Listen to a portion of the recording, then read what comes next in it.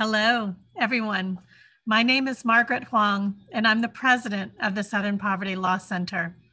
It's a great privilege to be with all of you today and with my colleagues who are speaking at this event. And I'm so glad that you've joined us today to honor the life and the legacy of Dr. Martin Luther King and to talk about how we can employ the lessons he taught us to help create a nation and a world where the human rights and dignity of every person are respected and we have equal opportunity for all. Right now, we need his lessons more than ever. As we all saw last week, we are in the midst of a crisis in the United States. This is a moment of great peril, a crisis of white nationalism that has been directly encouraged and abetted by our sitting president. The violent mob that stormed the Capitol last week was not made up of protesters. They were domestic extremists, terrorists who use violence to achieve their political goals. We must face the fact that there is a large and growing base of far right extremists in America who want nothing less than to rip apart our nation in the name of white supremacy.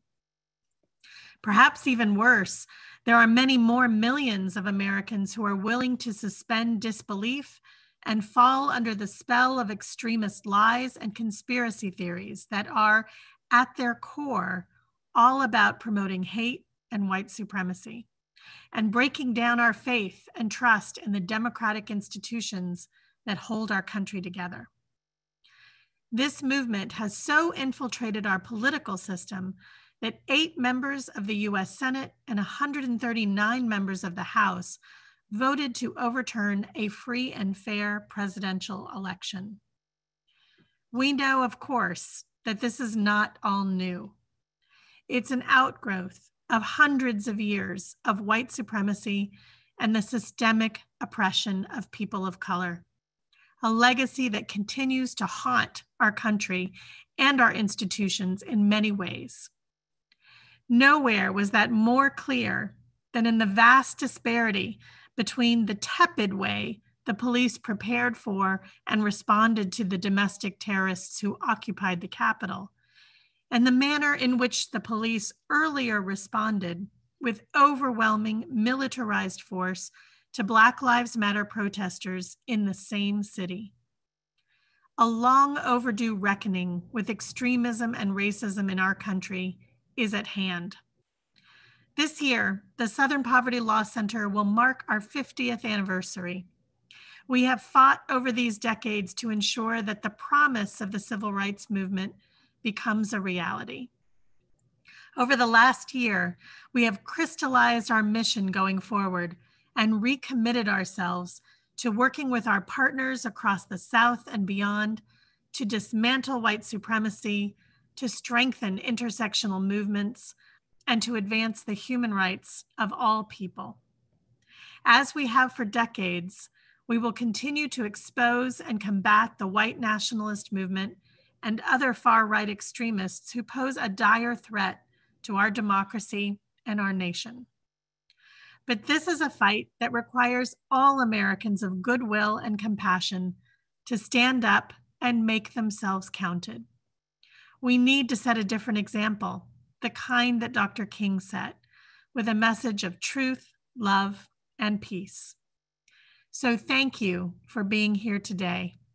I hope you enjoy this discussion and that it inspires you to help bring about the change that we need in, the, in America. Thank you so much for being here. And Taffany, I'm handing over to you. Thank you, Margaret, and thank you for being with us. Um, it is such an honor to have you leading the helms of Southern Poverty Law Center at a time um, as, such as this, the time that we're in. So I'm really grateful for that. So thank you. Thank you all for being here today. I am Taffany English, Director of the Civil Rights Memorial Center, a project of Southern Poverty Law Center. The Civil Rights Memorial Center is an interpretive center that is intentional and sharing the history of past civil rights martyrs and connecting that history to what we're presently facing today. Today is actually would have been Dr. King's 92nd birthday. And I am so honored that you all have joined us to not only commemorate his life and legacy, but to really be intentional and setting our path forward for making this a just and equitable society for us all. And I am so honored that we have an amazing lineup of speakers for you today. Ms. Sheyann Webb Christburg has built a lifelong career as a voice for hope, justice, equality, and human rights.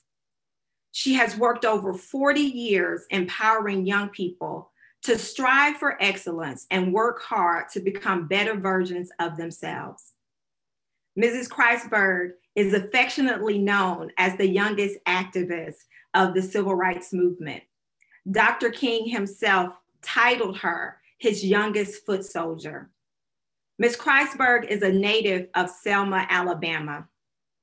And um, during this time, she was very intentional, inquisitive, and wanted to be a part of the movement. Mrs. Christburg is also an author, and she authored the book, co authored the book, Lord Selma, Lord Selma. And I'm so honored that she's here today to offer reflections not only about the legacy of Dr. King, but what that legacy means today. And after Ms. Christburg, we have a special pre recorded message from Jamie Harrison. Mrs. Christburg, I yield to you. Good afternoon. Thank you so very much to President and CEO uh, Huang, Mrs. Huang, and also to my dear friend, uh, Director Taffany English for giving me this opportunity to share on such an occasion and the observance of the late Dr. Martin Luther King Jr. So we are here today to reflect on the life and legacy of a man who sowed the seeds of hope and healing for America.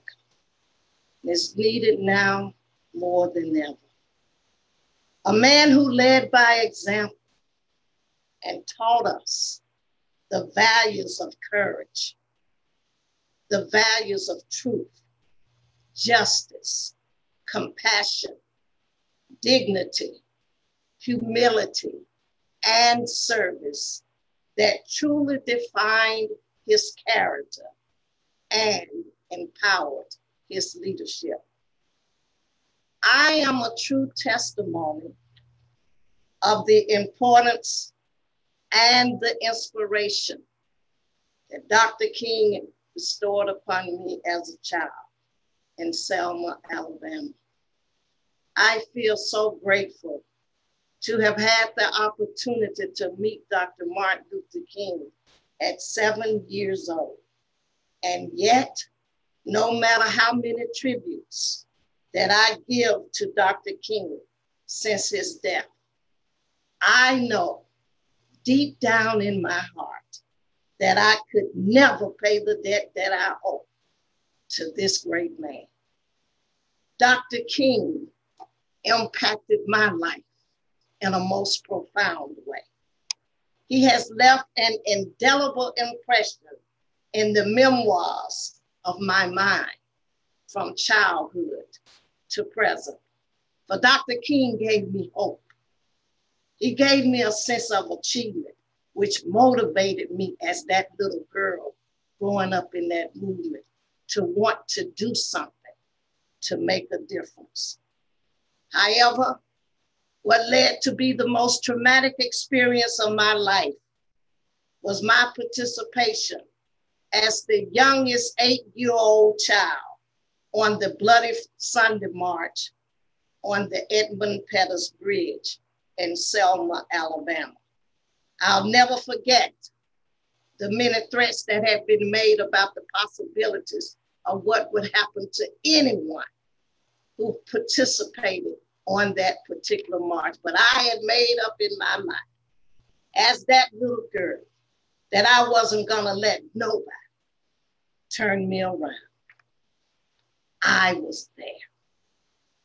But you know, even after 56 years, as I reflect on that bloody Sunday march on that Edmund Pettus Bridge in Selma, I often question just how far we have come as a people.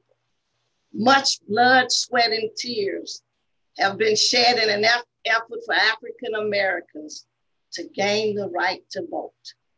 And yet today, we still have a long way to go. 46 years ago, as I talked to the late Congressman John Lewis, we reflected and we talked about those times. But even now, 56 years later, that struggle is not over. Today, not only in southern states, but all over the United States, racism still rears its head in an attempt to disarm people of their identity and respect as human beings. Racism is still at an all time high. So when we look at what Dr. Martin Luther King days should mean to our country today. I reflected on everything that happened and everything that people fought, died, marched, and struggled for in the 60s was for African Americans to gain the right to vote. And Black Americans fought the plight of condemnation exploitation, segregation, degeneration, and victimization. And today, our concerns are yet the same. Who would have thought that our nation's capital would be subjected to the mob attack of that caliber, which has led for state capitals across the country to be put on alert. Saint commentary. This is only one of the many incidents that speaks to the fact that when Dr. King left us, discrimination did not die with him. When Dr. King left us, injustices did not die with him when Dr. King left us, segregation did not die with him.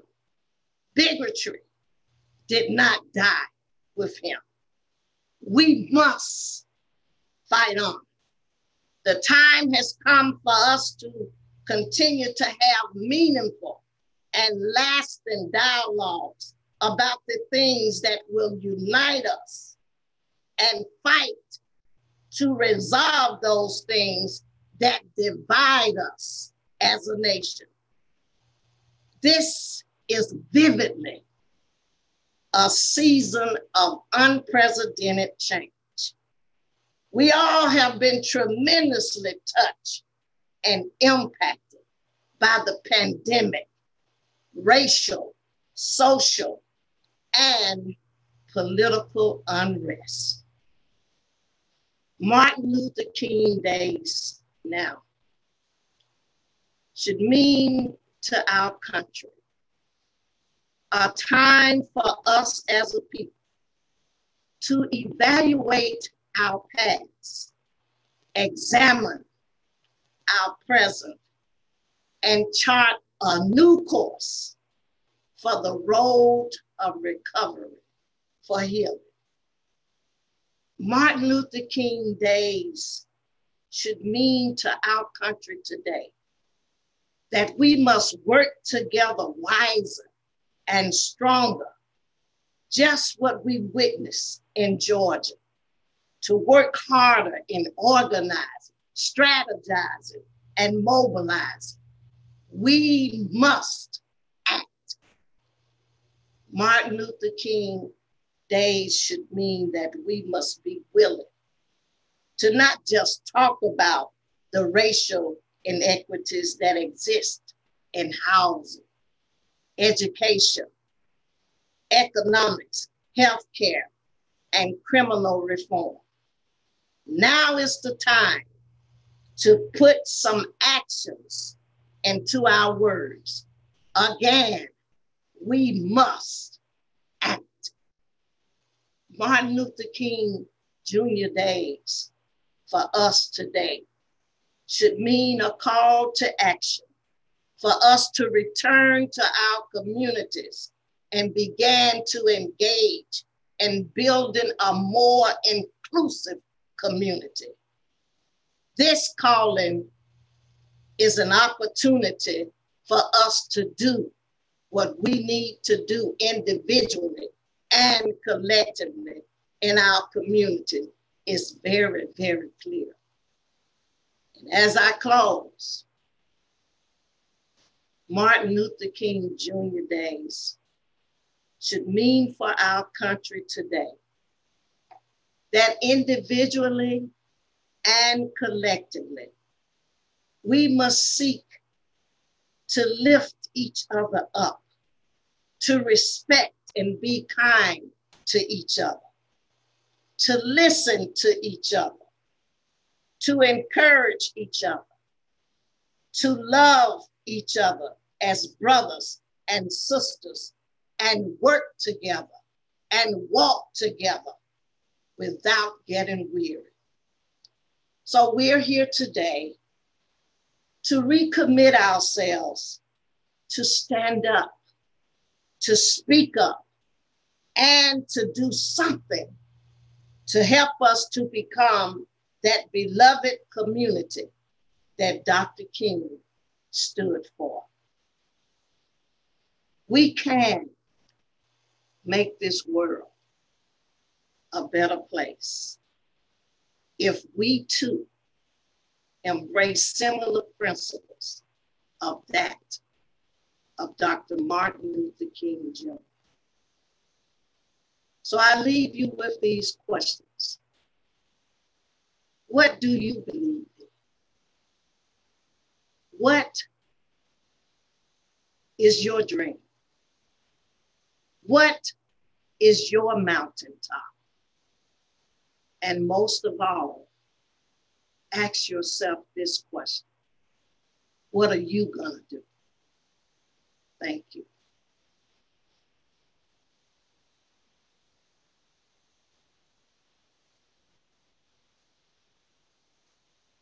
Hello, I'm Jamie Harrison.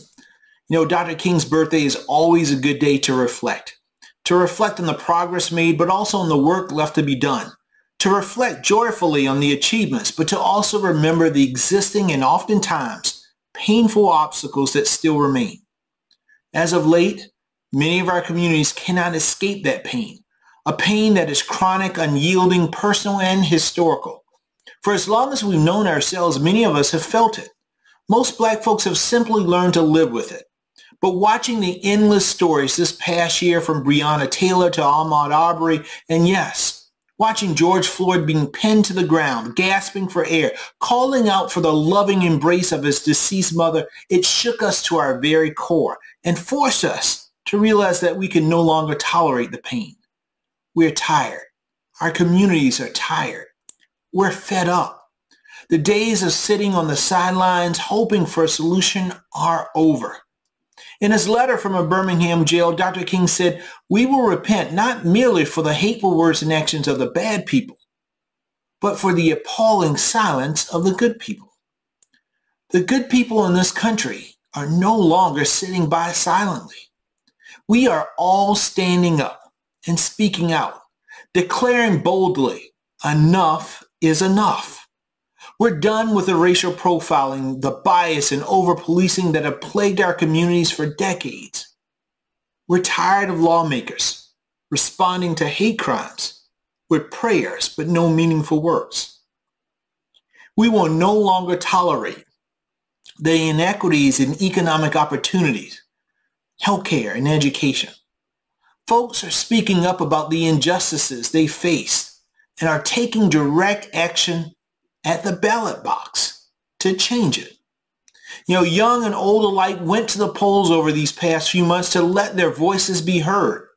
New leaders are stepping up to run for office and to serve as a voice of the voiceless. Every American, regardless of their background and status, deserve to be seen, to be heard, and to be valued. I ran for office because I felt that the timeless words of the Declaration of Independence, we hold these truths to be self-evident that all men are created equal, has to become meaningful. And those words have to mean more than just beautiful prose. We cannot stop fighting because our nation deserves leaders who will do more than pay lip service to injustice and inequality, but will work to end them. As James Baldwin once said, not everything that is faced can be changed, but nothing can be changed until it is faced. For the sake of our children who are our nation's future, we must find a path forward and realize Dr. King's dream for racial and economic equity. Thank you. Thank you to Ms. Sheyann Webb Christburg. That was such a powerful, eloquent message and definitely embodies the legacy of Dr. King and the work of so many others in the movement. And I also want to thank um, Mr. Jamie Harrison for taking the time out of his very busy schedule to record that special message um, for our event today.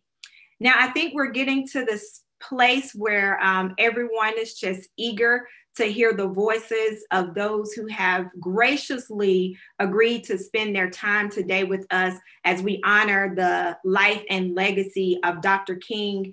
Each of them are activists and leaders in their own rights. I won't read their full bios, but I will just say a little bit about each one of them as I introduce them. And so um, we have with us Miss Tamieka Atkins. If you have been watching Georgia, all eyes have been on Georgia this uh, election cycle this year and all of the movement that happened in Georgia. Um, she is the executive director of Pro Georgia and definitely embodies the principles of Dr. King in mobilizing and giving voice to the people on the ground. And I am so honored that she is spending her time with us today. So thank you for being here with us, uh, Ms. Atkins. Next, my dear friend, Dr. Eddie Moore. I have known Dr. Eddie Moore for a very long time. I have sat at his feet. Um, I have had to learn and glean off of his knowledge and wisdom and experience in doing this racial equity work. Dr. Eddie Moore is the founder of the Privilege Institute and the White Privilege Conference. He has um, written several books. He's an educator um, and an activist, and definitely someone that I'm eager for you all to hear um, his thoughts uh, about where we go from here. And last, and certainly not least, I am so honored to have with us Mayor Timothy Ragland. Uh, mayor Timothy Ragland is the first Black mayor of Talladega. And I actually want to just say, I want to claim him as my home team. I'm not actually from Talladega, but I was born and raised in that county. And um, he is also a young mayor. And so I am so honored to have Mayor Timothy Ragland with us to speak about the role of leadership and also uh, regarding the life and legacy of Dr. Dr. King and how that has influenced him. As I said at the onset of this, we are celebrating um, and honoring the life of Dr. King. And today is would have actually been his 92nd birthday. And given the recent events of what happened in our nation's country last week and just what we've seen over the last four years, uh, I always feel that it's befitting that we start and we begin um, at those places that inspire us and that can motivate and propel us to move us forward. I uh, have been working in civil rights for over 20 years and never ever thought that this would be my plight. However, we know uh, how things plan out and how things move, kind of like Dr. King, um, who reluctantly became the leader of the civil rights movement in the South when he moved to Montgomery um, to work with the Montgomery bus boycott and later other issues. And before we get into our first question, I always find it necessary to go back to a place that inspires me as I do this work daily. I have the honor of working at the Civil Rights Memorial Center, a project of Southern Poverty Law Center. And out front um, of the Memorial Center is a memorial that was designed by Maya Lin. And etched on the round table out front are names of 40 individuals, 40 martyrs who were do, who was doing this work that would eventually lead to Dr. King becoming the leader of the movement. And so I think about people like Reverend George Lee, who was in Mississippi, using his pulpit to advocate for Black people to go out and fight for their right to vote. I think of the work of Medgar Evers and all the work that he did in Mississippi. And we all know the murder of Emmett Till galvanized the movement in ways uh, that I don't think anyone imagined that it would. And we were able to see, the nation was able to see what was happening in the South. And so, whenever I'm in front of that memorial, there's this quote that's on the wall. And it says, Until justice rolls down like waters and righteousness like a mighty stream. These words are paraphrased from the book of Amos. But what's not uh, inscribed, and these are words that Dr. King said, he says, No, we are not satisfied, and we will not be satisfied until justice rolls down like waters and righteousness like a mighty stream. And I always think it's befitting to include those words before, because as we talk about doing this work, we know that doing this work requires us to move beyond our comfort zone. And so, what I, I want to hear from our panelists, and we're going to start with Mayor Ragland. Mayor Ragland, can you share with the audience ways in which Dr. King's legacy continues to inspire you um, in your leadership role as the mayor of Talladega, but also more so, you are kind of among this rank of new Black mayors in the South. And I think that that is very key. So, Dr. Ra- I'm, I'm sorry, Mayor Ragland, I'll turn it over to you. Uh, thank you, Ms. English, um, and to the other panelists. I'm honored to serve with you. Uh, you know, Dr. King was so intelligent. Um, I, am often, I have several several of his books, um, and I think my favorite one is his last book, uh, Where Do We Go From Here? Community or Chaos. Um, and when I read that book, I, I, find, as you were talking about, inspiration. Um, his legacy for me uh, is, is being able to stand in, in your morality. Uh, a lot of people in political office, um, and I'll just say it once they get elected, they become cowards. Um, they're afraid to take a stand, to take the stand that they know is right. Um, a lot of times, you know, we try to put things as black and white. Um, but in all honesty, as Dr. King said, injustice anywhere is a threat to justice everywhere. And when we look across our country, we see civil unrest, we see economic disparity, uh, we see inequ- inequitable access to health care. And we have people who are in elected offices who are afraid to address those things. They're afraid to have those conversations about race um, because they feel they're going to alienate one group or another. And I feel like, uh, you know, is one, my grandmother told me you can't keep a band aid on because if you keep it on, the wound will never heal. And so until we're able to take that band aid off and talk about race as a country, uh, we're going to continue to have this uh, cyclic cycle, uh, cyclic like this cycle of uh, racial injustice. Thank you, um, Mayor Ragland. Um, and I, I do agree with you. If we keep the band aid on, we'll never be able to heal the wound. And oftentimes we talk about um, truth and reconciliation, um, and, and, and we have to realize that to get to reconciliation, we have to be truthful and we have to be honest about what racism has done to this country. Uh, Ms. Atkins, for you, thank you again for being here with us. How has this work, uh, how has Dr. King's legacy continued to influence your work um, in advancing civil and human rights? Thank you so much. Thank you again to the panelists um, for, it's amazing to be on a panel with the both of you. Uh, so, you know, at the end of the day, you know, at Pro Georgia, we focus on voter registration and civic engagement right? And we register uh, primarily Black and Brown people to vote, those of us who are impacted the most by voter suppression, right?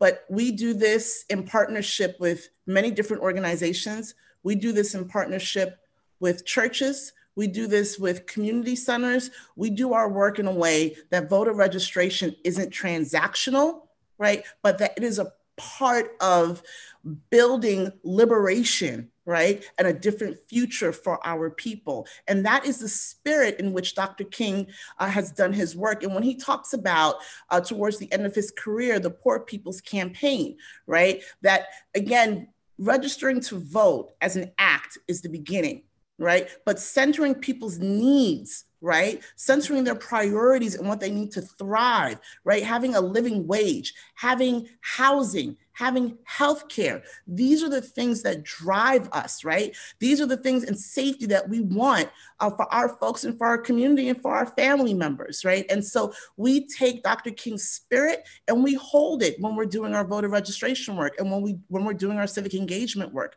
And we are very clear, right? The the spaces that have been holding our work, who hold the values of voter registration and the values of like, like liberatory theology, those are the black churches, you know, across the South and across Georgia, right? And so we are very clear who we do this work for, uh, who we do this work with, and our roots in the Black church.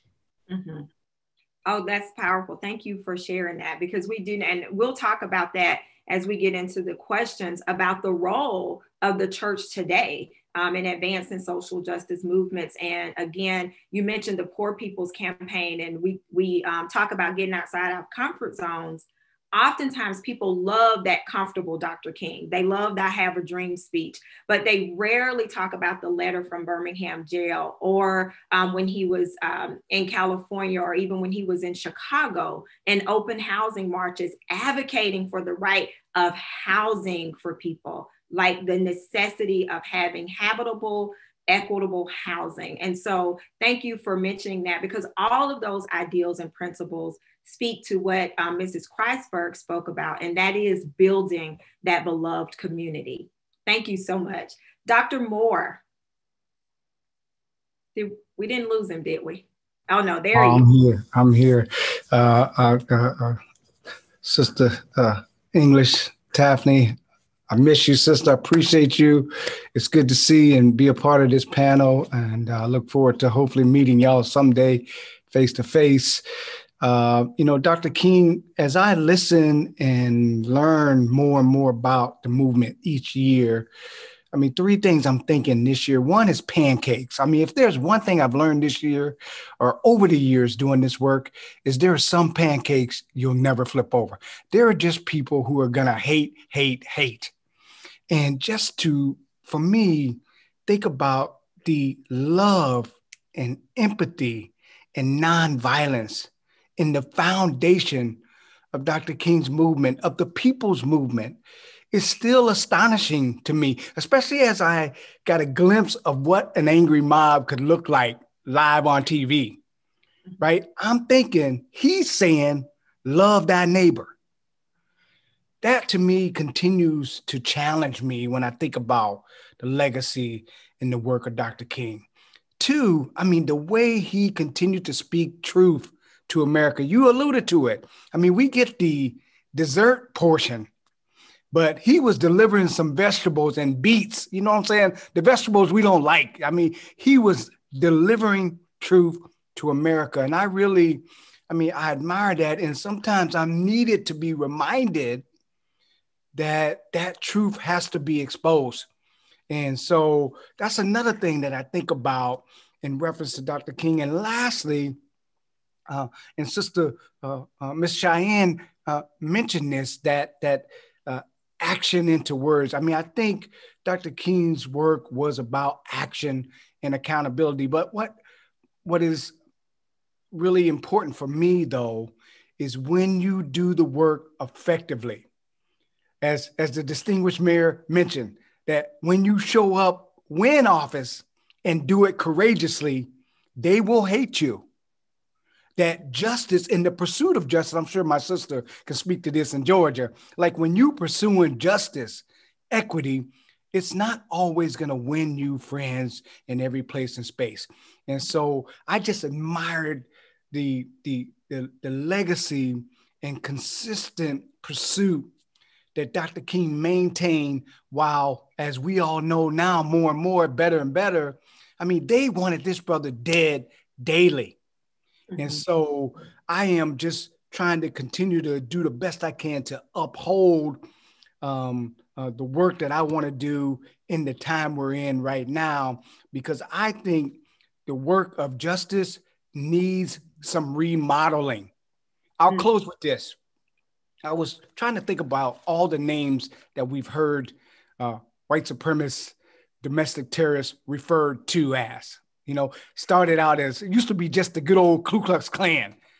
Now it was the Tea Party and uh, nationalists and alt right and QAnon and Proud Boys and uh, my point is, it seems like they are in the lab evolving.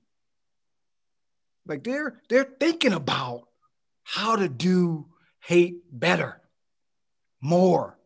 And I just think this is a time for those of us in social justice to really be thinking about, to get in the lab and think about how are we evolving the work that we're going to be doing, the work that's needed in the 20, 21st century over the next 25, 50 years. And I'm trying to uh, continue to use the lessons and the learning from MLK, the civil rights movement, to really guide me to look at the future of the work. So thank you again for giving me the opportunity to respond to that. No, thank you, um, Dr. Eddie Moore. You touched on um, definitely core principles that we know Dr. King embraced throughout, um, as well as other civil rights activists. Um, we know that he was very intentional that the work should be multiracial, it should be multi-ethnic, and it should be multi-generational and um, and you talked about um, you, you said justice the the fight for it needs to be remodeled. And i was reminded of that yesterday um, the king center um, is having a global global summit and listening to them talking about a collective unified agenda for those who are on the ground and movement building and so, as we think about Dr.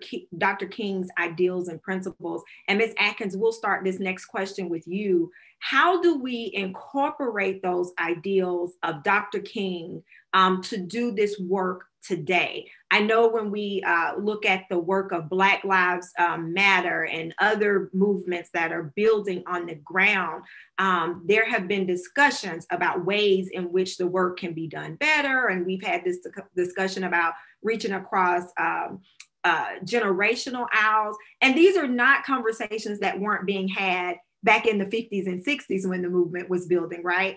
And I think oftentimes people think that it's just today, but no, those were some of the same issues in the 50s and 60s. So as we look at where we are as a country today, and as, as we are all on this panel and doing this work, what should this plight for civil rights? What should that model look like today, uh, moving forward as we think about our theme for today? You know, what civil rights should look like today is what we're doing right now.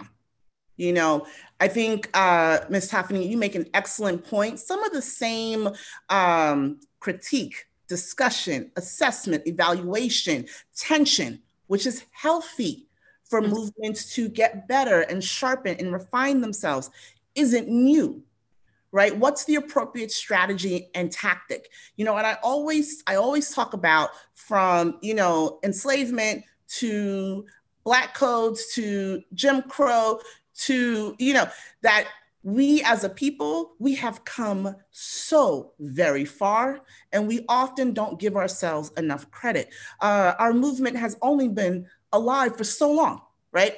And so a lot of the assessment that was happening in the 50s and the 60s is still happening now. What you know do how do we censor nonviolent? Does nonviolent mean that we still don't do direct action and protests right?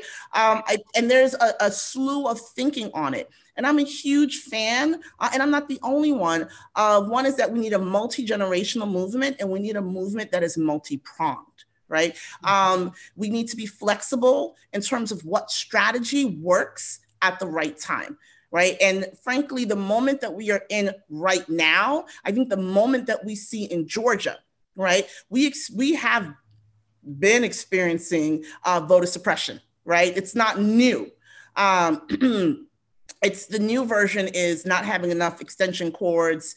Uh, the new version is we don't have uh, the Voting Rights Act Section 5 has been gutted. So now election officials can change polling locations with little notice. Uh, you know, we have voter ID laws, and in Georgia, we have something called exact match, where if your name doesn't look exactly the same, um, or if your signature doesn't look exactly the same, then you are putting a pending list. Um, and although you can vote provisionally, these are additional steps that make it difficult difficult for people to access their right to vote.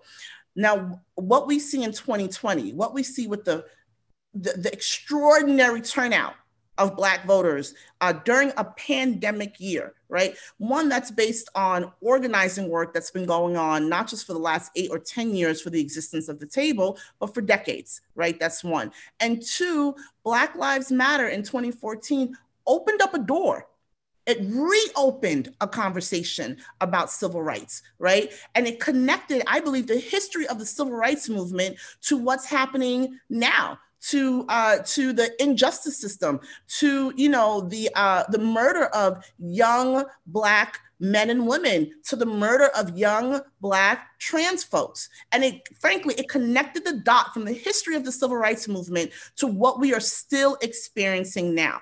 And you can still see in terms of the organizing, building with churches, building locally, including housing and economic justice as a part of the civil rights conversation that is all built on the legacy of Dr. King and on the legacy of civil rights leaders. You know, I think it, it, it matters and it's important to note that uh, with the Poor People's Campaign, uh, Dr. Ralph David Abernathy, he took that work on and continued it.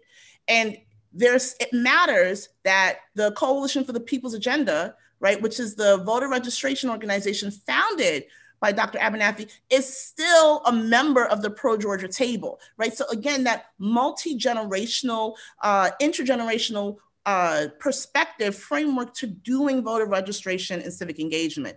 Um, you know, it, so you know I, the work continues. I, I, think sometimes you know maybe we focus too much on lifting up tensions that uh, uh, uh, exist right now uh, without acknowledging or recognizing that these tensions are not new. And again it's the opportunity for steel to sharpen steel Oh, I love that. Steel to sharpen steel. And you're right, they're not new. Um, and I love when you said at the very beginning that they're healthy. And that is something too in the movement, Dr. King and others, Reverend Shuttlesworth, were very intentional about saying, okay, your feelings are your feelings. Let's work through them because we have something greater ahead of us. Yes. Um, Dr. Moore, I'll turn it over to you to answer that same question. And then Mayor Ragland, you after Dr. Moore. Yeah, um, well, I, I, I, can't build much on what Sister Atkins said. I will say um, that when I think about today, you know, I think about issues like voting, like access, like education, uh, debt relief, homelessness, um, um, uh, um, uh, immigration. I mean, there's a plethora there uh, issues and concerns I think that can be in connection with where the work is today.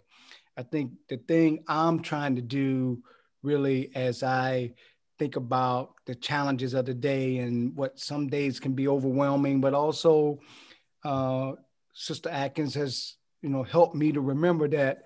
I mean, there's been some folks grinding for decades, really getting some real things done in our nation, despite all the challenges. And so trying to hold both of those spaces. And I think for me, when I think about civil rights today and and and and the work, it's really about focusing organizationally, the Privilege Institute, the White Privilege Conference, on really building community, building relationships, trying to be in support, particularly across um, identities. I mean, I think there's some real questions being asked about the role of white people in this time during this time.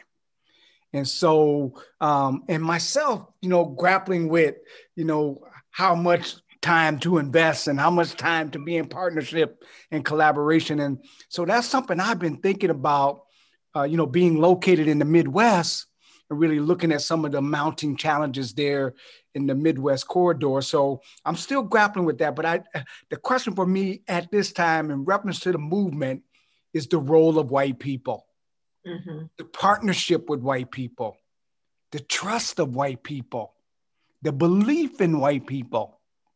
These are some of the things I'm grappling with as I think about today that carry on from the past. And then also um, trying to think about particularly young people, especially um, BIPOC, uh, but uh, black folks, uh, young black males specifically, just because that's some of my research area, and, and, and looking at the work of Shawn Rochester in the black tax, and really focusing over the next 25 years in assisting in role modeling black wealth, black ownership, mm-hmm. and really trying to, as part of my contribution to the success and the work of civil rights, is really uh, assisting young people, especially in the understanding of Black capital, Black wealth, in building and owning in order to do good things. You can have a lot and you can do a lot.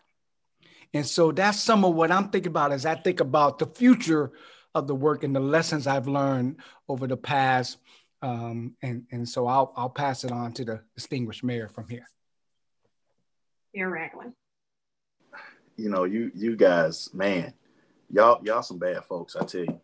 Um, I I think we you know we have many lessons that we can learn from the civil rights movement of the 50s and the 60s, um, such as ensuring, as as Ms. Atkins said, um, that young people have seats at the table.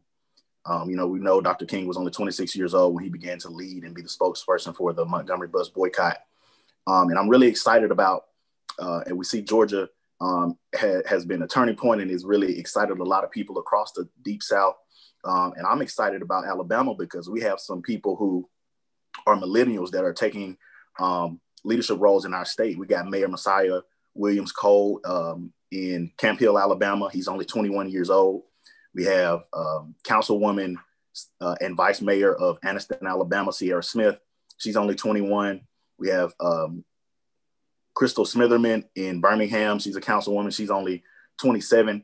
Um, and so we have a lot of young people who are um, taking on that leadership role and they're unapologetic in their blackness. They're unapologetic um, in who they are and they're energetic and it's really exciting. Um, also, I think a lesson that we can learn also is that you, ha- you have to be able to protest, but you also have to be able to um, ignite policy transformation. Um, one of the major strengths of the civil rights movement was that its goals and its objectives were concrete. Um, they strove to achieve equality and justice for Black folks, excuse me, through the establishment of civil rights, um, like the right to vote, desegregation of schools, public transportation, uh, and other public facilities, equal access to jobs and housing. Um, they did all of this, uh, as Dr. Moore said, um, among these these angry mobs, right? Um, you know, they even faced some pushback from folks in, in the Black community. And of course, you know, they had death threats and bombs being thrown through their windows and, and all that kind of stuff. And today we see those threats of violence seeking to dismantle that which Black people have established even amongst this pandemic, right? Uh, with the through the protests uh, that we've seen around the world, even uh, with George Floyd's uh, death, murder, George Floyd's murder. Um, and then I think the last lesson is that based on the demands, they develop strategies and tactics to realize their objectives through organizational structures and networks that they built. Um, you know, we had SNCC, we had the SCLC, um, and, and all the other organizations that, that, were, that came about during the civil rights movement. Our strategies, particularly those led by Black women like Miss Atkins in Georgia and, and so many others, have shifted uh, Georgia from red to blue and given states across the South hope um, that a new a new South is on the horizon. Um, and like that lyrical, one of one of my favorite lyrical poets, Andre 3000 says, the South has something to say. So I'm, I'm excited. Thank you, Mayor Ragland. Um, you you actually trans you touched on something that will transition us into our next question, and you said um, in igniting policy um, for transformation. And Dr. William Barber, um, I, I, love him of the Poor People's Campaign. He talks about having a moral revival. And again, he doesn't want us to get caught up in language, right? Because he says, in order for us to really affect change, it's so much bigger than us just getting along um, and so much more than us just being able to live in community together. But we've got to transform racial um, policies and policies um, that uh, have to eradicate poverty. Um, in this nation. And specifically, you talk, talked about the South, specifically the Deep South, right? Um, and there is the saying, so goes the South, so goes the rest of the nation. And so we know that policy is critical um, and we know that those in uh, elected positions are critical in this, but communities are critical in the shifting of policies as well. And so, Ms. Atkins, we'll begin this next question with you. If you could um, share with us ways in which your uh, organization is working to educate individuals about policy um, and also mobilizing legislatures and those in elected office to change those policies so that it benefits uh, the greater society at, um, at large. Thank you. So I want to just remind folks a little bit about who Pro Georgia is. And we are a state-based table. We are one of about 25, 26 tables that make up the State Voices Network. Uh, and here in Georgia, I have the privilege to work with 38 different uh, organizations, including Southern Poverty Law Center, um, who have different policy priorities, different social justice priorities. But what we all agree is that we have a, a shared base right? Shared population or communities. Um, we don't live, right, um, one issue lives. And so when we are all fighting for LGBTQ advocacy, housing, education, economic justice, that we agree that our folks, uh, part of power building has to be registering them to vote and then getting them out to vote. And so, why I say this, how we do our work is called integrated voter engagement. And that means that we do not show up in September, uh, register you to vote, and then disappear, right? Our partners are in the community year round, and they're, and they're tying civic engagement, um, frankly, just to community organizing, right? And meeting folks where they're at.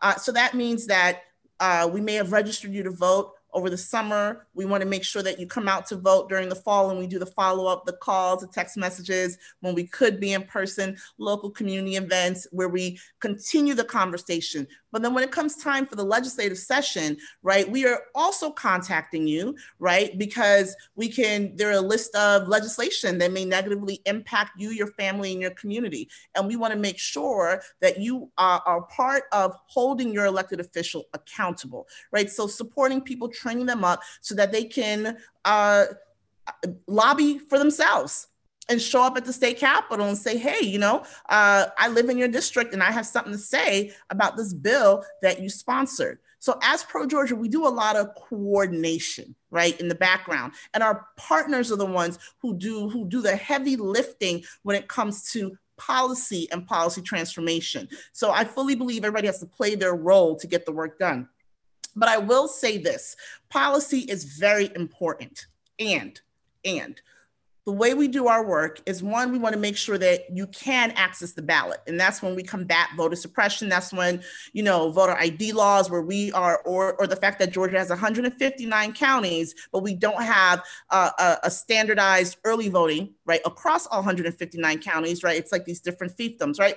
So one, we want to make sure that you can you can vote. The second thing we want to do is make sure that you want to vote right? That this is not a pie in the sky, complicated, uh, distant from you and your daily living, right? That you see voting as a direct way to impact and improve your life, right? So now that you can vote, you want to vote, and you do vote, here's the next thing. How do we make sure that your vote and your voice isn't diluted? Right? Through gerrymandering and redistricting, through packing and cracking of districts, right? And so I say, I lay all that foundation to say, particularly in the South, right? That we need elected officials that actually represent the will and the needs of the people, right? Because we need them, right, to support uh, and implement policy that will eradicate poverty, right? But we need elected officials that actually feel accountable to the people of Georgia and not to their special interests. And so we've now had the census, which was this huge thing, right? Now we have the, the count you know, and there's still ongoing conversations about that. But why that matters is that when we are finished with the census and we are ready to draw district lines, we have to make sure that districts are not drawn in a way that they put all the Black folks together or they put all the Black and Brown folks together to reduce our representation down at the state capitol, you know, or they sprinkle us out right? So that we are still, uh, our voice is diluted uh, because we are, it's not equal representation. Right. So I, I know that, you know, Dr. Moore and Mayor Ragland are going to talk more about policy, but, you know, I'm also like, why, why is it so hard for us to have good policy implemented? That's and so we at Pro Georgia were really focused on the redistricting and making sure that our voices aren't diluted. Mm-hmm. Dr. Moore. Uh, well, I tell you what, uh, the young mayor there's got me inspired. Maybe I might have to go back to my hometown and do some investigation to to to to, to do it courageously. I'm I'm I'm just again really um, uh, inspired by this question. Uh, uh, my motto when it comes to if change is what you want to see, you have to understand policy ideology. Mm. Okay, so uh, you know, as a 501c3, we have to be careful around the politics of where we situate ourselves. And really, where we focus and the programming that we do, and particularly working with young people, is understanding ideology. And again, we're in the Midwest where it's sweeping whiteness across the corridor everywhere you go. And you know, um, I mean, I'm not always opposed to that unless it's tied to ideology. And I think that's some of the conversation we're trying to do in teaching about white supremacy, white privilege, and other forms of oppression from an ideology perspective. Because we know across this nation, I mean, Jim Loewen, who's done some great work across the South, talks about and has researched and exposed these, what he calls sundown towns, what I think we got to look at is when you find a sundown town, you probably got a sundown municipality, a sundown school, a sundown church. I mean, the policies echo, ripple throughout the community. And so I think that's where we're trying to spend work with future leaders and being able to understand the verbiage of white supremacy ideology, the behavior patterns, the strategies to push back. I mean, even the ability to say white. I mean, there's some places where you can't even still say white. Uh, try saying white supremacy.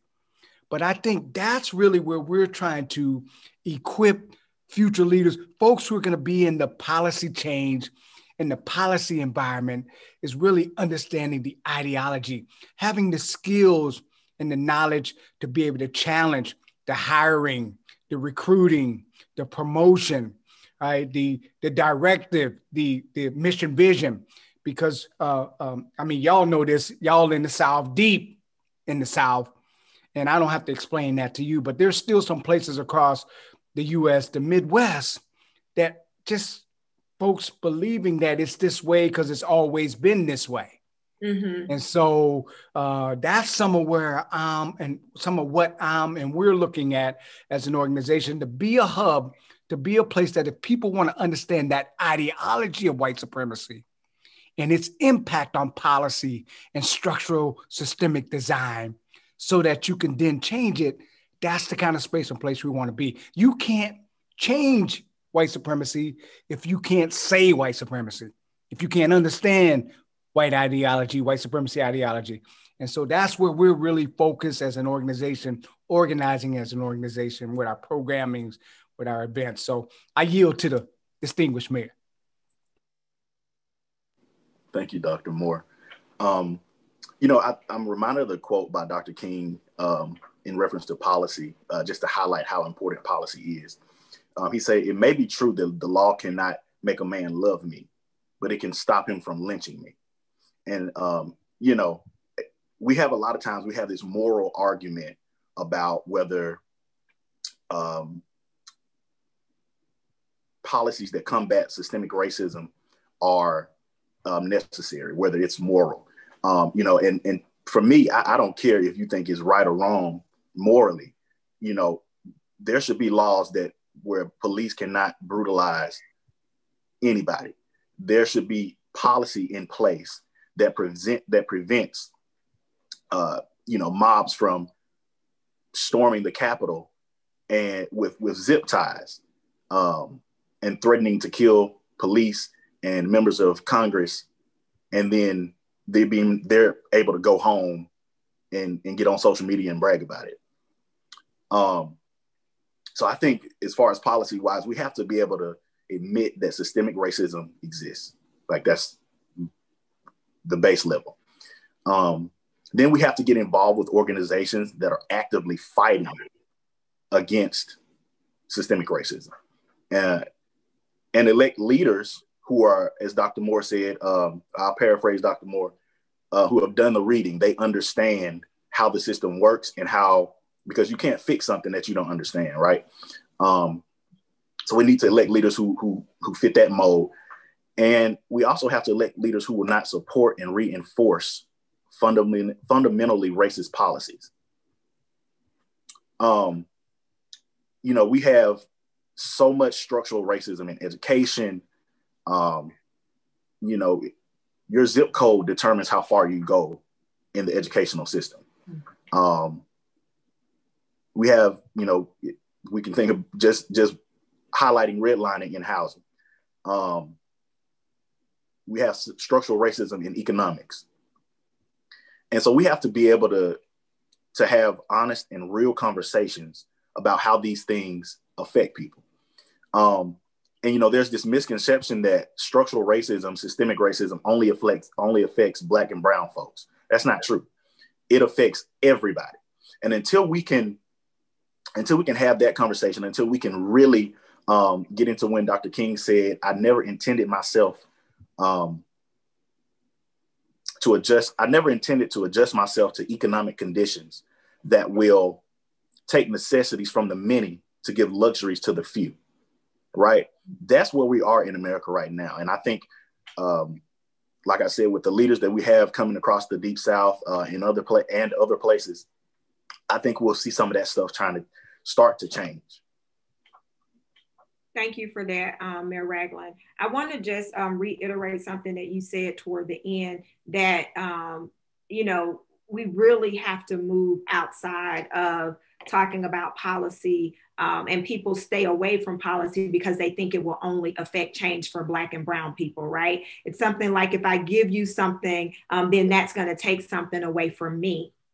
Earlier this year i was participating in a webinar with the highlander center and um, and we were just talking about how do we get people to the table, right? If we were, if we look at our communities, right? If we look at poverty, both in the Black, Brown, and white community, if we can get them to the table to help them to understand how these policies are affecting us all, right? And I think Ms. Atkins, um, what Pro Georgia has done is a model that I think should be modeled everywhere. And you spoke to that earlier. And that's about building a coalition of organizations who are at the table. And I've looked at that list on Pro Georgia. And these are organizations that run the gamut, that provide direct services. Um, you know, they're working on childcare, they're work, working on issues that matter. And Mayor Ragland, you mentioned um, the issue of housing and how redlining um, just took wealth out of uh, what were predominantly middle class Black communities and what that did to Black communities. But what it continues to do is putting money in the pocket of a few. And then we're left with these uh, areas are of high poverty. And you said it, and it shouldn't. Your zip code matters right? Because your zip code, not only does it determine where you go to school or the quality of your education, it also determines your quality of healthcare. And if we haven't seen that before, we should have seen it given what we just what we're going through now. We're in the midst of a pandemic. And we know that um, those racial and economic disparities existed prior to the pandemic, and the pandemic has just heightened or raise the awareness of that in in the black communities. And before we transition to doing q&a um, we are running on time. Before we transition to doing the q&a i would be remiss if i didn't talk about the ways in which we do this work um, and if i didn't talk about the pandemic that has plagued us all. But how has it changed one how you think about your work and how you think about the people who are receiving less than quality care in the midst of this pandemic. And we will start with uh, Mayor Ragland. yeah, so um, I was inaugurated November 2019. And then, uh, I don't know, three, four months later, we we are in the throes of the uh, global pandemic. And so um, for me, as a at, at the local level, I don't have the authority or the um, capacity to get to to at the time I thought I didn't anyway to order mass mandates and, and that kind of thing. Um, and so I followed our procedure, which is to go to the council uh, and to say, hey, this is what I see going on. Let's get ahead of it. Let's do a mass order. Let's do uh, stay at home orders, that kind of thing. And and they fought me. Um, and so I said, well, I'm just gonna have to do this uh, on my own. So I did the executive order thing uh, to put those things in place. And of course, I was threatened, you know, with suits and all this kind of stuff. Um, so for me, this pandemic has highlighted, uh, even though it's something you you you intuitively know, but there's a difference between having you know the intuitive knowledge of something and then having the lived experience of it. Um, and so it, it, highlighted for me that people don't really care about the people they say they care about. Um, you know we we oftentimes when it's election season people say you know they make these promises. They say we're going to come together. We're going to do the best thing for the community. Uh, but when the rubber meets the road uh, as Ms. Atkins said, people, a lot of t- a lot of elected officials are listening to their special interests. They're listening to the folks that gave them money, um, and and that's just that. Uh, so that's that's one thing.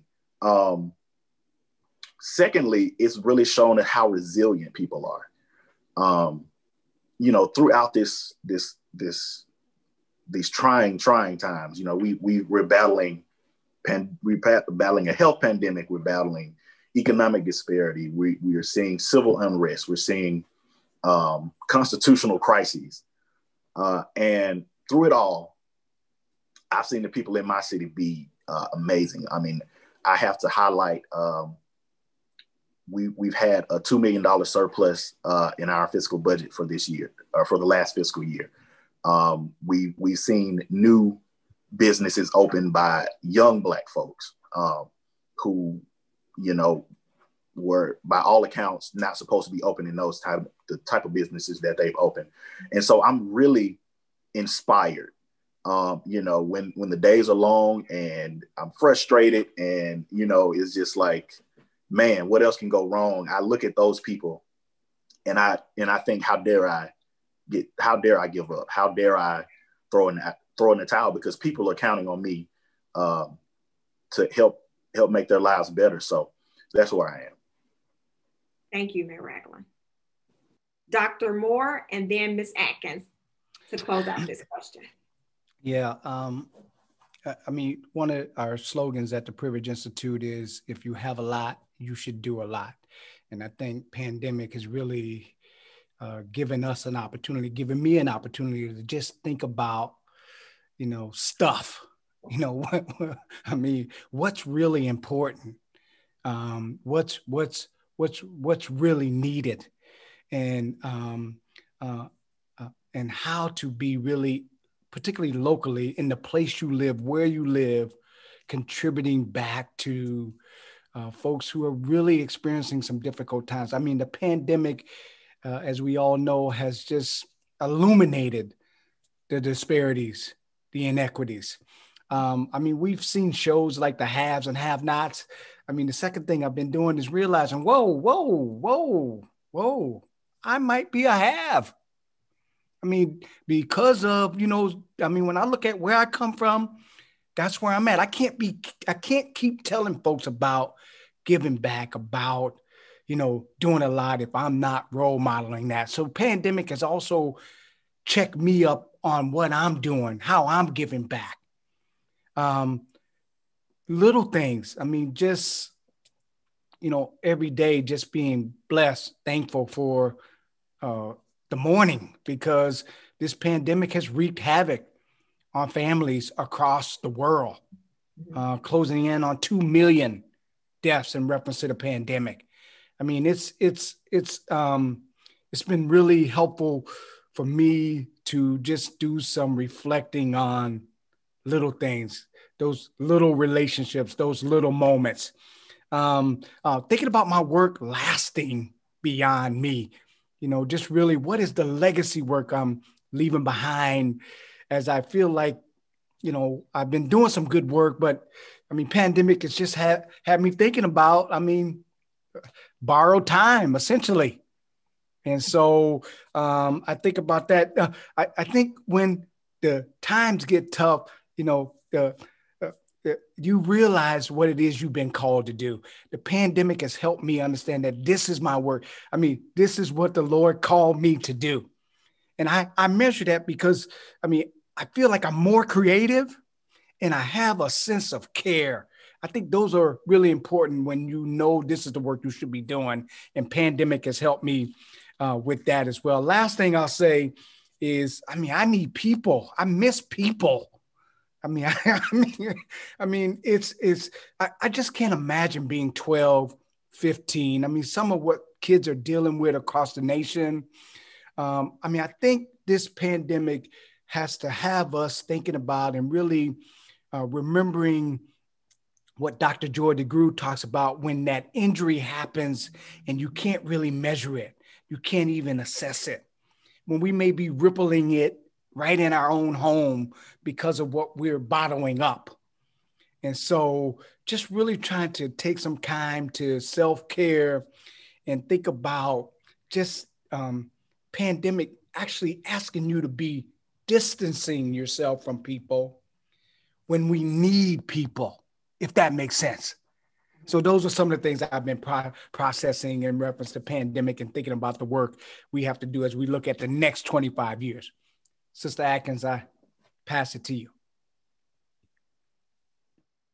Thank you. Thank you. Um, a couple of things. Um, we the way pro georgia and our partners how the way we do this work like we have to meet people where they're at you know and so what that means um, and uh, uh, Taffany, you mentioned like some of our partners, and I, I came to the table through one of the partner organizations, the National Domestic Workers Alliance. Uh, in our case, uh, we uh, found during um, when um, the Affordable Care Act was first implemented, and we found out that Medicaid expansion uh, would not be uh, uh, uh, adopted in Georgia, you know, we found that many domestic workers, nannies, housekeepers, and home care workers fell into the coverage gap and that they would benefit from Medicaid expansion. Uh, and we did our part. We held press conferences and we did um, interviews with the news and we delivered petitions to uh, then Governor Nathan Deal. Over 500 domestic workers signed petitions um, uh, encouraging him to expand, to approve expanding Medicaid. Uh, and instead, uh, and I've never heard of people giving up power, but the legislature that year decided to take the power away um, from the then governor to implement Medicaid expansion and making it uh, two thirds vote of the entire state legislature. And given the environment that we live in here in the South and in Georgia, we knew that then this was. Um, you know the end of the conversation. And so we all met uh, and you know my members my member leaders were like where do we go from here? And we said well we need someone in office that you know cares about us and supports us. And that's how we uh, got into voter registration right? Uh, registering domestic workers to vote, right? And you know how we did our work is while we are recruiting nannies and housekeepers or home care workers, while we're inviting them to CPR training so that we can, you know, provide cheap or free CPR training so that they can then leverage that for better wages. We are also like, well, while you're here, we'd also like to register you to vote. So I say that as an example of how we do our work and how it's in the community. Um, that's how we always do our voter registration work across all 38 table partners. So I can't stress enough how we our work is not transactional. It's built into the ongoing community organizing leadership development work. And when we look at this year, this pandemic year, um, a part of a little bit of, of what we were left feeling was where it might feel slower, mm-hmm. but we were right to do our work the way we did it because that trust and that relationship carried over through a very tumultuous year. Uh, so that when we are now calling people and we need you to vote, we know a lot is happening in your life. Trust me, we know. We need you to come out and vote. We had built those relationships. You know, this year we've always known, right? In the South, rural does not equal white. Right. And I have lived in the South for 10 years, and that was one of the first lessons rural does not that narrative you had from the northeast cut that out right now.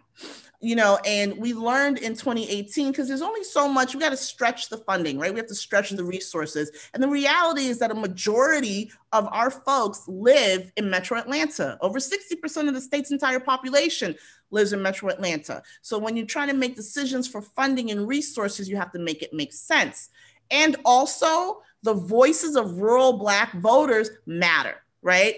Uh, and that's when, after 2018, we said we have to do better, right, at expanding this infrastructure, expanding uh, the access to the tools, right, the data tools, the all the all the fun stuff that supports civic engagement efforts. And I'm talking about things like laptops and cell phones and tablets to do door-to-door in-person engagement. And then we have the pandemic and some ways that we said we're going to have to do this differently, uh, we mailed out what we called civic care packages across the state.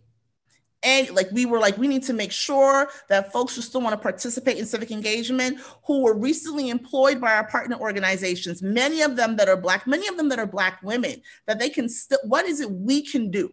although we focus on voter registration and civic engagement, we need our folks and the folks who we are connected to to be healthy and whole and safe. So, what can we do as a part of this? And one is make sure folks can stay employed right? Yes, we may not be able to do that in person voter registration, but that does not mean that we throw you away. So we mailed cell phones, tablets, and laptops with unlimited data, right? And that's really important because we there is a, a gap right? And broadband internet in rural parts of the state.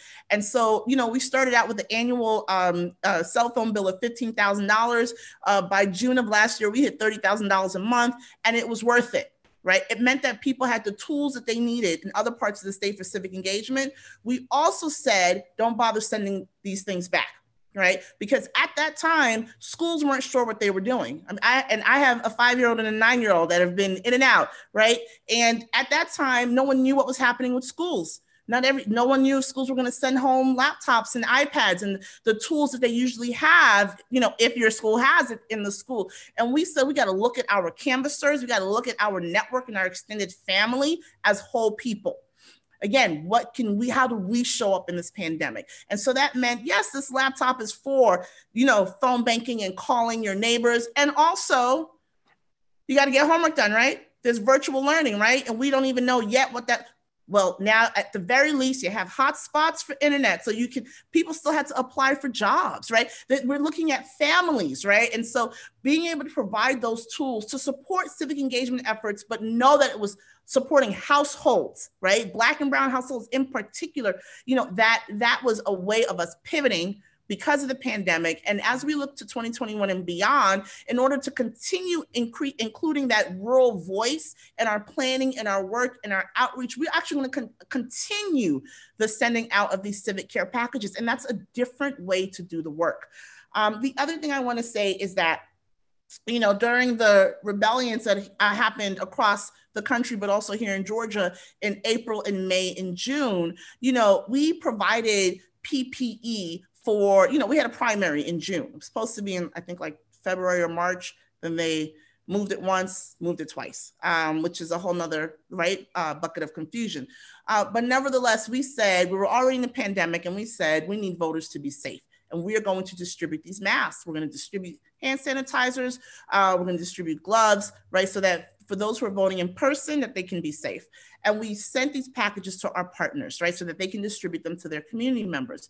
But we also provided masks for the rebellion, right? For, you know, people who were protesting because many of them were young and black, right? And we want to one make sure that they're safe and healthy for themselves, obviously, and also uh, use this opportunity to increase and be safe now while you're out here. And also, we need you to vote come the fall right? Like, how do we continue? And so we had messaging that went along with our mass, like stay woke, vote, right? We had QR codes, we had handouts with information and voter education. But right, how we did the work when we when we think about the pandemic and what it means to make sure our folks are healthy while also holding our mission around voter registration and civic engagement, that meant that we had to like wade deep into PPE resources and supplies, right? It was it was just a different way of doing the work and again always looking at folks as as whole people and the last thing I will say, I know around how's how's our work changed when it comes to the pandemic.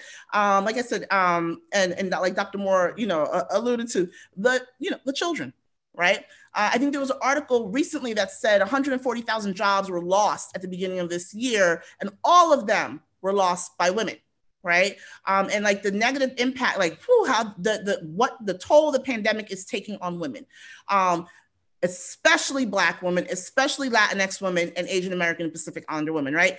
Um, it's a disproportionate toll that it's taking on us. And as a table uh, you know and we we you know talked to funders we talked you know did what we had to do but this was an innovative year. And so we have a child care fund now right? Because we want folks we say we want Black women to be leaders, right? Um, and if they are head of households and if they are holding many different hats, then how are we supporting them to still hold all of this work in the middle of a pandemic, right? Without schools, without daycare, without adequate support. So so we are we are honed in on voter registration and civic engagement, but we do not uh, we we want people to bring their whole selves to this work, and this was a year where you know they say that um, your budgets reflect your values, um, and you know I felt that this year for myself, for Pro Georgia, and for all of our table partners. Thank you all for that. So we have a couple of questions from the um, Q&A box. We actually have a lot that we won't be able to get to, but I do have a couple that I think are really important to answer and they'll be specific to each panelist. And then we'll move into our closing remarks. Um, you, this has just been a wealth of information and I know our participants uh, appreciate that. Uh, Mayor Ragland, this question is for you. Um, as a minority, how do I keep administrative officials accountable? Um, there's an adage that says the squeaky wheel gets the noise. I'm sorry, the squeaky wheel gets the oil. Um, get on their nerves. Uh, call City Hall, um, or if it's your legislature, call them, email them. They should know your name. When they see your name pop up in the email, they should be like, okay, let me see what's going on. Um, and I, I know, and I'm not sure uh, how everybody's particular. Um, I'm just from a local level. I'm not sure how your council meetings are going, um, but if you're having in-person council meetings, show up. Um, because I found that city councils tend to vote differently when people are in the room. Um, they tend to not have the same, you know, they they have um, what Drake called Twitter fingers. Um, you know, they they they they feel one way when uh, the people who are opposing what they're trying to do are not around, and when they come in and when they come in the room, then they they're more um, they're more friendly. They're they're more apt to um, follow what you want them to do. So I, I would definitely say get on the nerves, call them, email them, um, let them know your name and face. You put them in office, and and they're accountable to you. Thank you, Mayor Ragland. Um, Ms. Atkins, this next one is for you. Um, is there a Florida equivalent to Pro Georgia? There is. Woohoo! There is uh, one table. It's called the Florida Civic Engagement Table. Um, that is the whole name. There is also New Florida Majority. Uh, these are both excellent organizations that coordinate voter registration and civic engagement efforts, both from a C3 perspective, um, which is me, nonpartisan, just focus on getting the vote out. Um, but then there's also the, from the C4 perspective, right? Where now you can do a different kind of work, which is without partnering with a candidate, you can advocate for or against a candidate as long as you're not working in partnership with them. So both from the C3 and the C4 perspective, we, we got the team down there. Thank you. I know a lot of folks will probably appreciate that one. Dr. Moore, this next question is for you. Um, and the, and I'll it's kind of lengthy, so I'm going to make sure I get the question in. I have been com- having conversations with my um, white friends and colleagues um, to share life experiences, particularly around how they experienced or witnessed racism as young people. What else can white people do? Yeah, um, I'll say two quick things. One, um, I mentioned pancakes earlier.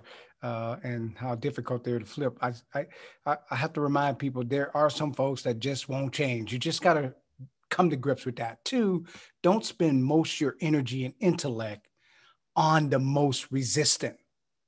All right. So uh, this work has to be sustained over time. So I would say that. And thirdly, I mean, there are now some things out there, the implicit bias test, the IDI, uh, the 21 day action plan, uh, sir. I mean, there are so many resources out there. I would encourage you to go to the White Privilege Conference website, TPI's website, because we really have some resources, particularly as it relates to white people working with white people, particularly in your families, but also your close networks. Uh, so please uh, go to the website or you can find my email there, my contact information, and I can definitely connect you to some other, other resources if you don't find them there.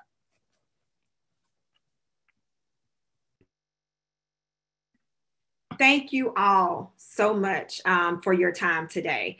I really could spend the next couple of hours with you all. So I think we should, after this convenes, we can all have a midday coffee break and and and dialogue and conversation. But thank you again. Thank you, Ms. Atkins. Thank you, Dr. Eddie Moore, and thank you, Mayor Timothy Ragland. In our closing, I do know that this is oftentimes the, the one question that people often pose, and that is how can they get involved? Like, how can people get involved aside from working for a civil rights organization or something of that nature? So, if you all could just take about two minutes each to answer that question um, before we have our official closing, and we will start uh, with you, Dr. Eddie Moore.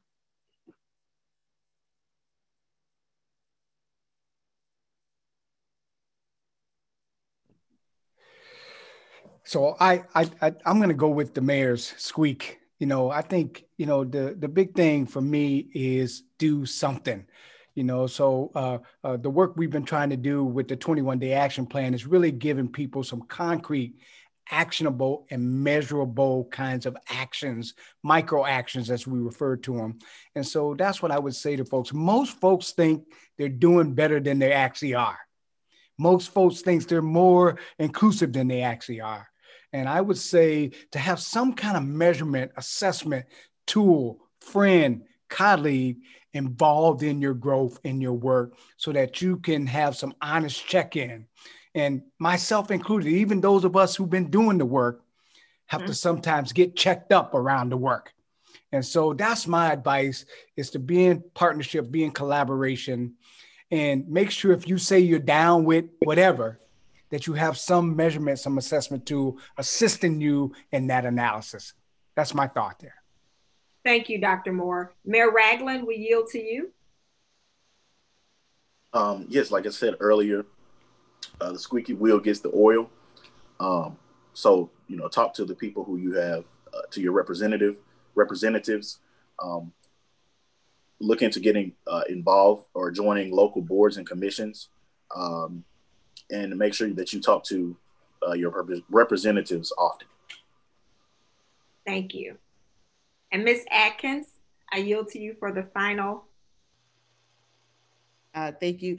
Uh, you know, a couple of things. One is um, there is an organization called Showing Up for Racial Justice, uh, and SURJ has several chapters around the country, uh, and that's an opportunity, I think, for white allies to get involved um, and to be in a space where you can have conversations about white privilege, where it shows up, um, have that conversation with each other. Um, and, um, and get support and resources from each other. Uh, I think another another uh, way to get involved is you know organizing funds you know, uh, becoming sustainers of organizations. Uh, I mean, and that could look like, you know, I love a good sustainer that's $5 a month. That's $5 a month that you can count on, right? $10 a month that you can count on.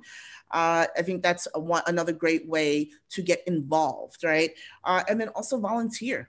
You know, um, I think volunteering is is critical. Um, and by volunteering, following the leadership right, of uh, particularly Black women who are leading some of these organizations. But we need uh, volunteers, and that can show up a lot of ways. That could show up uh, volunteering and making space down at the state capitol, right? Mm-hmm. Um, that could be volunteering when it comes to uh, phone calls, uh, you know, uh, outreach, right? There's just a lot of ways that volunteering is really impactful right, in continuing the fight for civil rights and for equity in the United States. Again, thank you all so much for sharing your time, um, your experience, and your expertise as we celebrate and honor the life and legacy of Dr. Martin Luther King Jr. Um, you all saw um, on the screen that there was a, a, screen that showed how you can get involved, and we've also included those links in the chat box. We will send a follow up email that will include this recording, and it will also be on our social media platforms next week. So, again, thank you all so much for your time. Thank you for being um, here with us today. And thank you to all of our attendees. Thank you for being supporters and partners in the fight for justice and equity. Have a great day.